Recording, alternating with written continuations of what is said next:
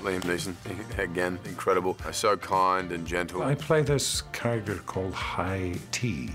He has a very special relationship with H. I know it's a cliche to say, but I think he's very much a father figure in his life. Liam is a consummate actor and a true star in his own right. He literally may be the only actor who Chris Hemsworth can look up to, since Chris is about 6'3 and Liam is about 6'5. He's an indispensable part of the cast. He was very specific on making sure that mentorship was clear and the father-son relationship was evident. Basically, it's sort of the heart of the film.